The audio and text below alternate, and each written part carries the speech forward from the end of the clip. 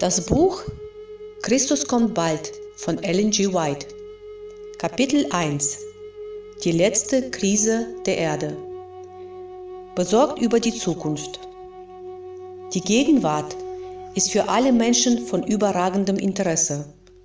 Herrscher und Staatsmänner, Inhaber von Vertrauens- und Machtstellungen, nachdenkende Männer und Frauen aller Schichten verfolgen aufmerksam, was um uns her geschieht. Sie beobachten die Beziehungen zwischen den Nationen.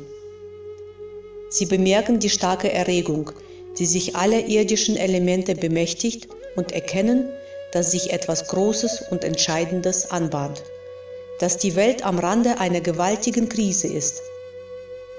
Die Katastrophen zu Wasser und zu Land, die gesellschaftlichen Unruhen, die Warnungen vor einem Krieg verheißen nichts Gutes. Sie sind Vorboten bevorstehender Ereignisse von gewaltigsten Ausmaßen. Die Mächte des Bösen sind dabei, ihre Kräfte zu verbinden und sich zusammenzuschließen. Sie stärken sich für die letzte große Krise. Große Veränderungen werden bald in unserer Welt stattfinden und die letzten Entwicklungen werden sehr schnell vor sich gehen. Unruhige Zeiten stehen unmittelbar bevor. Die Trübsal wird bis zum Ende zunehmen. Deren Zeit steht unmittelbar bevor. Wir haben keine Zeit zu verlieren. Die Welt ist vom Gespenst des Krieges aufgeschreckt. Die Prophezeiungen aus Daniel 11 haben fast ihre letzte Erfüllung erreicht. Die Zeit der Trübsal, eine Trübsal, wie sie nie gewesen ist, seitdem es Menschen gibt, Daniel 12.1, steht unmittelbar bevor und wir sind wie die schlafenden Jungfrauen. Wir sollen aufwachen und den Herrn Jesus bitten, uns mit seinen mächtigen Armen zu umfassen und uns durch die bevorstehende Zeit der Trübsal zu tragen. Die Welt wird immer zügelloser. Bald wird es großes Unheil unter den Nationen geben. Nöte, die nicht nachlassen, bis Jesus wiederkommt. Wir stehen an der Schwelle von Zeit und Ewigkeit – Schnell werden Gottes Gerichte aufeinander folgen. Feuer, Überschwemmungen und Erdbeben, dazu Krieg und Blutvergießen. Uns stehen stürmische Zeiten bevor, aber lasst uns nicht ein Wort des Unglaubens oder der Entmutigung äußern. Kein Gericht ohne Vorwarnung. Gott hat die Menschen vor kommenden Gerichten stets gewarnt. Wer seiner Warnungsbotschaft vertraute, und seinen Geboten gehorsam nach seinem Willen handelte, blieb vor den Heimsuchungen bewahrt, die über die Ungehorsamen und Ungläubigen hereinbrachten. Zu Noah wurde einst gesagt, Geh in die Arche, du und dein ganzes Haus, denn dich habe ich gerecht erfunden vor mir zu dieser Zeit. 1. Mose 7,1 Noah folgte der Aufforderung des Herrn und wurde gerettet. Lot empfing die Botschaft, Macht euch auf und geht aus diesem Ort, denn der Herr wird diese Stadt verderben. 1. Mose 19, 14. Lot begab sich unter die Obhut der himmlischen Boten und wurde bewahrt. Auch Christi Jünger wurden vor der Zerstörung Jerusalems gewarnt. Wer von ihnen auf die Zeichen des nahenden Untergangs achtete und aus der Stadt floh, entging der Vernichtung so sind auch uns genügend Zeichen der Wiederkunft Christi und des Verderbens, das über die Welt hereinbrechen wird, gegeben worden. Wer diese Warnungen beachtet, wird gerettet werden. Vorbereitet auf die Zukunft. Die entscheidende Stunde ist jetzt sehr nahe. Sind wir vorbereitet, festzubleiben bei der Verteidigung der Gebote Gottes und des Glaubens an Jesus? Vor der Kreuzigung erklärte der Heiland seinen Jüngern, dass er getötet werden und aus dem Grabe wieder auferstehen würde. Und Engel umgaben sie, um seine Worte ihren Herzen und Gemütern einzuprägen. Die Jünger aber erwarteten eine irdische Befreiung vom römischen Joch und konnten den Gedanken nicht ertragen, dass Jesus, der Mittelpunkt ihrer Hoffnung, einen schmachvollen Tod erleiden sollte. Die Worte, an die sie sich hätten erinnern sollen, entschwanden ihrem Gedächtnis und als die Zeit der Prüfung kam, waren sie unvorbereitet. Jesu Tod, zerstörte ihre Hoffnungen vollständig. als ob er sie nie auf sein Sterben hingewiesen hätte. So wird uns in den Weissagungen die Zukunft ebenso deutlich erschlossen, wie sie den Jüngern durch Christi Worte erschlossen wurde. Die Ereignisse, die mit dem Ende der Gnadenzeit und dem Vorbereitungswerk für die Zeit der Trübsal in Verbindung stehen, werden uns klar veranschaulicht. Aber sehr viele haben nicht mehr das Verständnis dieser wichtigen Wahrheiten, so als ob sie nie offenbart worden wären. Satan wacht, um jeden Einfluss von ihnen abzulenken, der sie zur Seligkeit tauglich machen könnte. Endzeitprophetie verlangt unsere Aufmerksamkeit. Dann sah ich den dritten Engel, Offenbarung 14, 9 bis 11. Mein begleitender Engel sagte, Furchtbar ist sein Werk, schrecklich ist seine Mission. Er ist der Engel, der den Weizen vom Unkraut scheidet und den Weizen für die himmlische Scheune bindet oder versiegelt. Diese Dinge sollten alle Gedanken, die ganze Aufmerksamkeit beschäftigen. Wir werden uns vor, vor der Obrigkeit verantworten müssen für unseren Gehorsam gegenüber Gottes Geboten, um den Grund unseres Glaubens bekannt zu machen. Und die Jugend sollte das begreifen.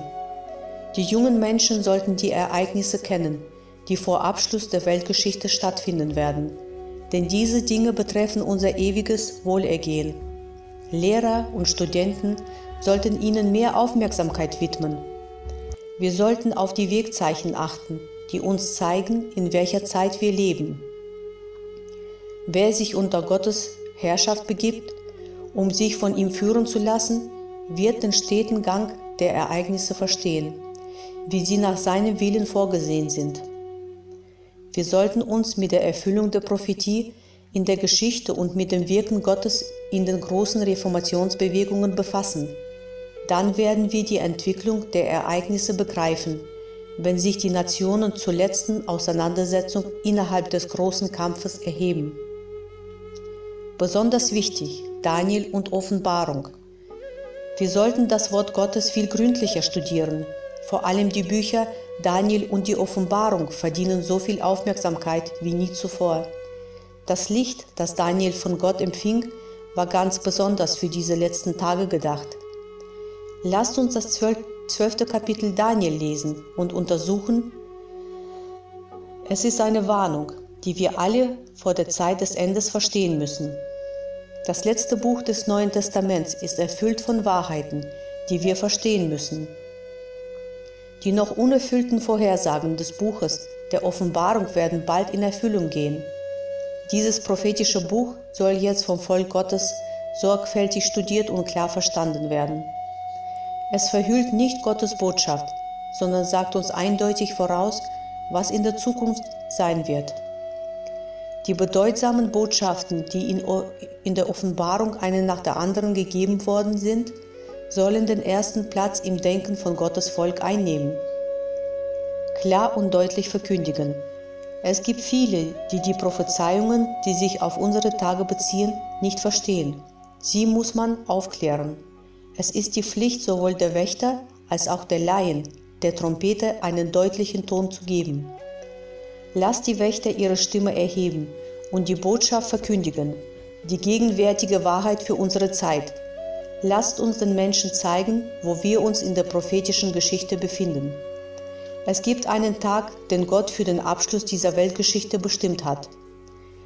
Und es wird gepredigt werden, dies Evangelium vom Reich in der ganzen Welt zum Zeugnis für alle Völker. Und dann wird das Ende kommen. Matthäus 24, 14. Diese Prophezeiung erfüllt sich schnell. Mehr, viel mehr sollten, sollten über diese unheimlich wichtigen Themen gesagt werden. Der Tag steht vor der Tür, an dem das Schicksal der Menschen für immer festgelegt werden wird. Große Anstrengungen sollten unternommen werden, um den Menschen dieses Thema vor Augen zu halten. Die ernste Tatsache, dass der Tag des Herrn plötzlich unerwartet kommen wird, sollte nicht nur den Menschen in der Welt, sondern auch unseren eigenen Gemeinden immer wieder bewusst gemacht werden.